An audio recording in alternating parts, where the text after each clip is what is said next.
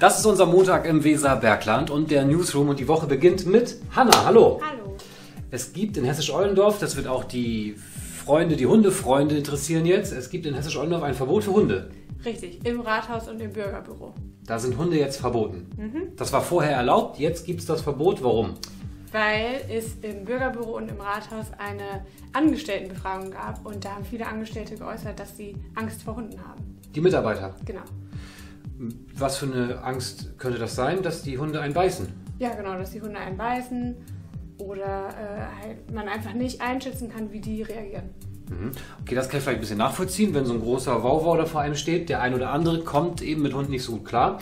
Die Konsequenz ist jetzt das Verbot und wo bleiben die Hunde? Die Hunde müssen draußen warten. Dafür wurde jetzt äh, ein Schild angebracht an der Tür, das dann sagt, dass Hunde draußen bleiben müssen.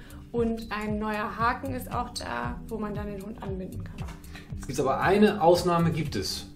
Genau, für Blindenhunde gilt es nicht. Die dürfen weiter rein. Wie ist es eigentlich im, im Landkreis oder auch in den Städten drumherum?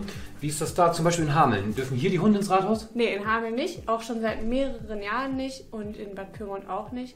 Aber in ländlicheren Gegenden wie Krobbenbrügge zum Beispiel ist es erlaubt. Okay, also ihr seht, so ganz neu ist das gar nicht, aber zumindest in Hessisch-Ollendorf gilt ab sofort und da ist es eben neu das Hundeverbot im Rathaus. Mehr dazu könnt ihr lesen von Hanna in der Dienstags-DWZ. Die kommt morgen mit einem Abo direkt in eurem Postkasten oder eben überall da, wo es Zeitungen gibt oder auch online Genau. auf dwz.de. Bis morgen!